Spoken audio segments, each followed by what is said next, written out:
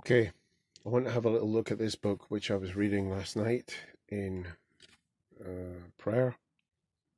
It's weighty, it's intellectual. The first time I read it, I thought, no, it's too wordy for what I'm after. It's tough going, even for somebody with theological training, but it's very, very juicy, exploring in deep detail um, the nature of the Greek East and the Latin West, okay, from the earliest times. Um, I'm only going to focus on one aspect, uh, which is the this section here from theology to philosophy in the Latin West.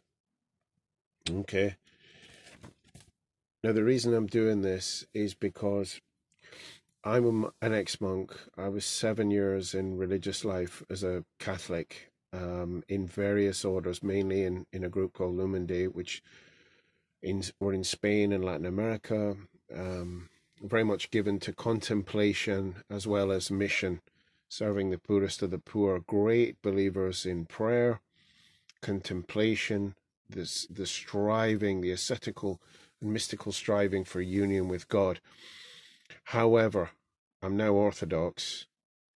Took me a long time to get there I now visit frequently Orthodox monasteries.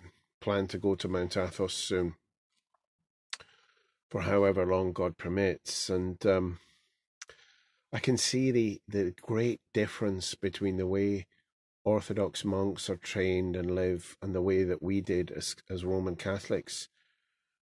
Um, quite substantially different. I mean, yes, we prayed, they prayed, we prayed lots, they pray lots. We were always in the church. They're always in the church.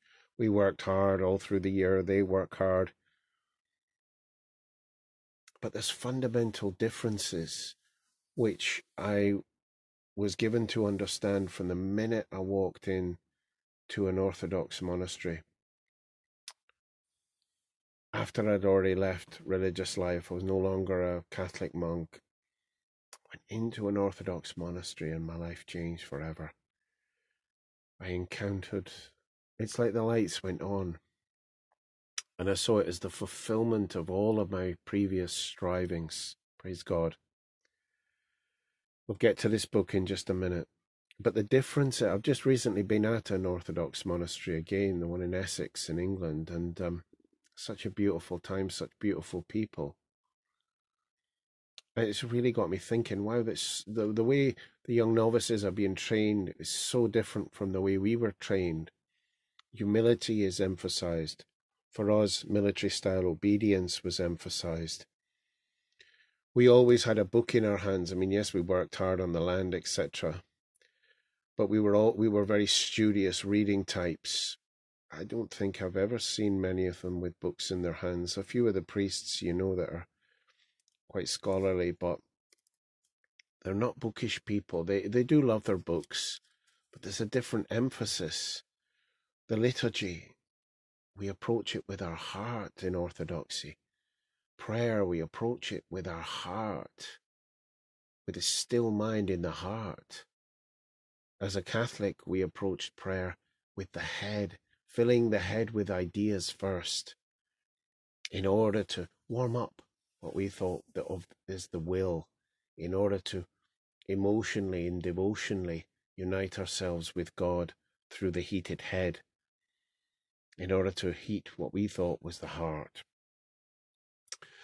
Well, the first thing I'm really, if we get back to the book now, um, the first thing I would like to say about this is that the, the the author says in this chapter, he says the, the, the thing that's been lost in the West is the heart.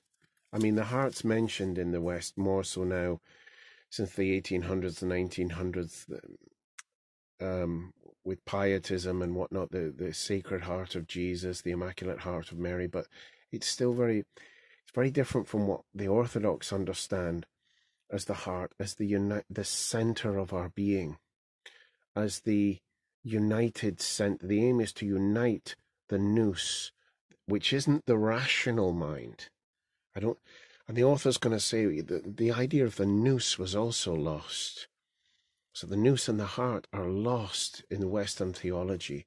The nous is the experiential, intuitive aspect of the mind, not the rational, discursive.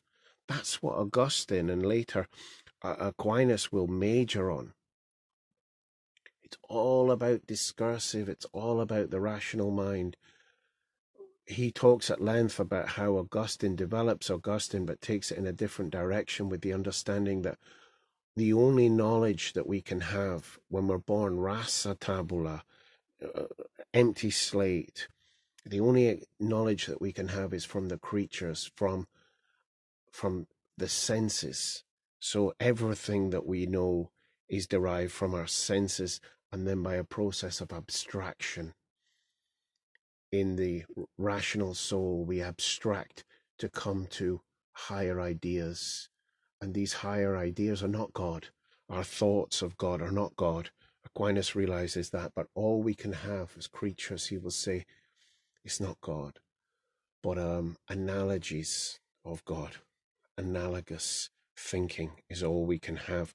And therefore, hence the, the absolute dependence of Roman Catholicism and Western theology, consequently, on ideas, ideas, ideas, words, words, words, systems of thought. The close that if you want to get close to God, go and get a PhD from Oxford or Cambridge. Go and get an A level in the subject. And this is very far from the thinking of you know, the desert fathers, the church fathers, which orthodoxy has stayed much closer to. Because of this, my monastic life, as I say, I just always had a book in my hand um, when I wasn't working on the land. Um, and I wasn't even in prayer. We were allowed to take books in, and the, we were told kind of and this was coming to the Siglo de Oro of the 16th century in Spain. I was in Spain, and it was very much, you know, you pray discursively with books, lectio Divina, until such a time as you simply can't do that anymore, and God infuses supernaturally this contemplation into our being. And of course, it just didn't really happen that often. So we remained with books, and we, what we would do is read a page, stop, think about it, ruminate over it, and then try and create some devotional feeling about this and say a few prayers to God. And there's power in all of that, but the Orthodox way is so much sweeter and more direct. It is to stand with the mind in the heart. Here, St. Theophan puts it nicely. Forgive the, the crappy light, but uh, i take off the flash. And you probably can't see it at all. The principal thing is to stand with the mind in the heart before God and to go on standing before Him unceasingly, both day and night. That is orthodoxy. That's what's going on in the liturgy and in the prayers, in the great Jesus prayer, to stand with the naked mind, stilled mind before God in the heart the unified heart of our being, praying that Jesus prayer. The Greeks simply call it the prayer. Lord Jesus Christ, Son of God, have mercy on me, a sinner, or its equivalents. And thus, because our thoughts, as Aquinas rightly said, they can't take us to God. God is not our thoughts.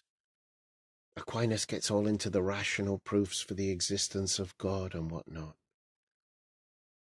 This is not God. God does not need to be subjected to our proofs.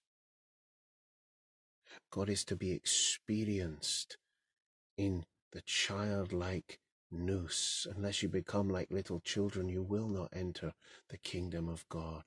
As you still all that chattering intellective dispersion, unless you quieten those passions, and you won't do it with a PhD. So many PhDs are still wretches. It won't still still the passions, the quieted mind in the heart, the center of our being.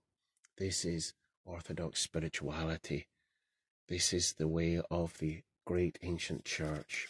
It's the church of the Desert Fathers. I think I'll make a second uh, video because this is getting rather long.